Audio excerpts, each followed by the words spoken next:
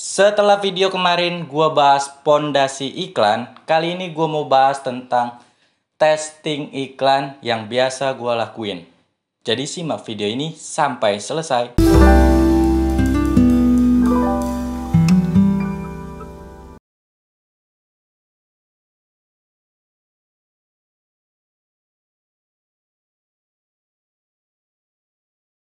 Oke Juragan, sebelumnya terima kasih sudah klik video ini. Buat Juragan yang baru pertama kali nonton video ini, perkenalkan nama gua Sahlan. Di channel ini gua akan sharing mengenai jualan online di marketplace.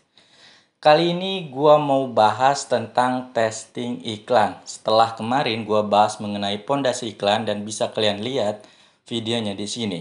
Kali ini part 2 tentang testing iklan yang biasanya gue lakuin itu seperti apa.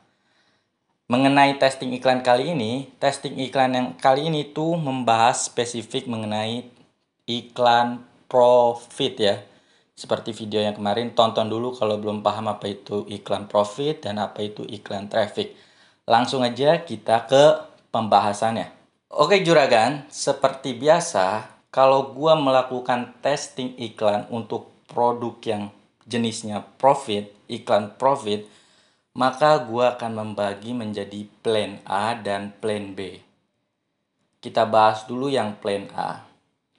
Dalam plan A, gua selalu pasang margin minimal Rp25.000 di mana top up pertama gue pakai yang Rp25.000 dan bitnya yang gue pakai adalah 250 rupiah dalam kategori luas bukan yang spesifik mengenai kategori luas dan spesifik itu apa dan seperti apa bisa kalian tonton video yang ini oke dan ketika kita masang bit 250 rupiah tentunya kita akan mendapatkan klik sebanyak 100 jadi 25.000 dibagi 250 rupiah kan dapat 100 klik. Oke. Dengan asumsi dalam 100 klik seperti video yang kemarin gue jelasin, gue mendapatkan closing minimal adalah 1 per sekali top ups. Itu 100 klik ya. Jadi closing rate-nya 1%. Oke. Setelah dapat closing rate 1%, ini gue masuk dalam kategori yang jenis iklan yang prospek. Oke. Maka gue akan lihat yang bawahnya, grafik bawahnya, selama tiga hari iklan plan A ini prospeknya. Oke. Jika tidak prospek atau enggak ada yang closing, maka gue akan nanti larinya ke plan B. Sebelum ke plan B, gue akan jelasin dulu secara detail yang plan A. Di plan A ini gue akan testing selama 3 kali top up yang 25.000. Top up pertama, top up kedua, top up ketiga, iklan top up. Nah, orderannya itu yang orderan satu, orderan dua yang ini ya. Misalnya top up pertama, gue anggap ini iklannya prospek dan bagus dan akan gue teruskan jika profit yang warna hijau. Hari pertama ada orderan satu, hari kedua ada orderan dua. Hari bukan hari ini maksudnya top up yang ketiga ada orderan dua. Itu namanya iklan prospek. Oke, gue akan teruskan iklan ini untuk produk ini. Jika masih seimbang atau netral yang warna kuning, top up pertama orderan cuma satu, dua, satu, Top up yang ketiga orderannya cuma satu. Artinya kita iklan tapi masih imbang. Untung 25.000, bayar iklan 25.000. Maka gua akan uji coba di hari keempat, eh di top up keempat dan kelima itu gua coba ganti bitnya. Entah itu gua turunkan atau gua naikkan untuk mencari performa yang bagus. Di mana bit berapa yang bisa menghasilkan keuntungan dari iklan kita. Dan gue akan stop jika pada hari pertama misalnya kita masih ada closing satu, terus kemudian top up yang kedua nggak ada yang closing, top up ketiga nggak ada yang closing, maka ini gue akan stop. Dan gue anggap produk ini udah nggak profit. Selanjutnya, bagaimana jika pada hari pertama nol closing? Maka gue akan masuk ke plan B, rencana kedua. Sebelum gue masuk ke rencana 2, gue harus pastikan dulu klik per view itu 2,5% sampai 5%. Kalau di bawah 2,5%, gue akan stop ini iklan dan gue anggap ini produknya udah bukan produk profit, bukan produk bagus. Oke. Okay? Klik per view itu maksudnya gimana?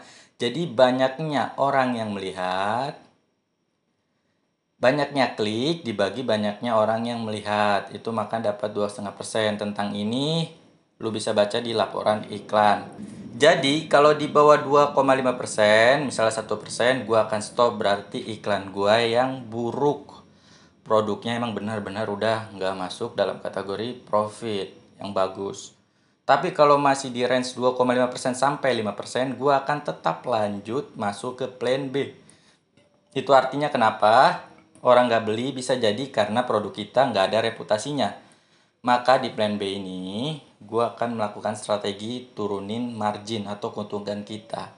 Misalnya gue ambil marginnya 5000 Terus gue top up seperti biasa, tahap yang keduanya 25000 Dengan pasang bid tetap sama 25000 Ketika ada yang closing berarti iklan ini masih bagus. Karena gue mengharapkan pada plan B adalah untuk mendapatkan reputasi setelah kita dapat reputasi baru kita masuk ke plan A. Nah di plan A maka kita tetap harus menerapkan testing yang seperti ini. Kalau gua seperti itu ya juragan.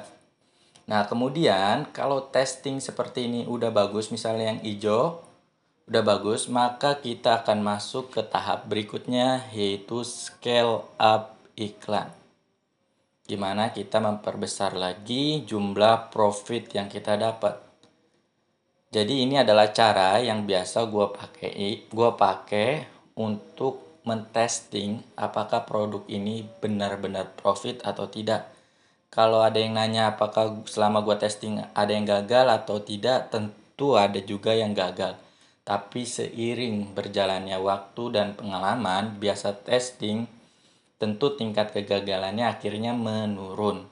Jadi buat juragan yang baru pertama kali iklan dan baru ada misalnya 40 klik kok belum ada yang beli, tenang sabar juragan. Bisa jadi ntar di klik berikutnya baru ada pembelian. Jadi kita harap sabar dan tenang dulu. Oke? Setelah misalnya juragan ikutin kayak gini ikutin cara gue ternyata masuk plan B dan gak ada yang beli dan boncos maka juragan harus cari lagi produk yang benar-benar bagus benar-benar trending benar-benar profit benar-benar baru cara carinya gimana mungkin setelah part ketiga akan gue jelasin oke jadi cukup simple banget testing yang biasa gue lakuin testing yang kita lakuin di marketplace ini berbeda dengan di Facebook. Jadi jangan ambil pukul sama. Ini adalah cara yang biasa gue pakai. Semoga cara ini bisa bermanfaat dan jangan boncos. Oke juragan, terima kasih.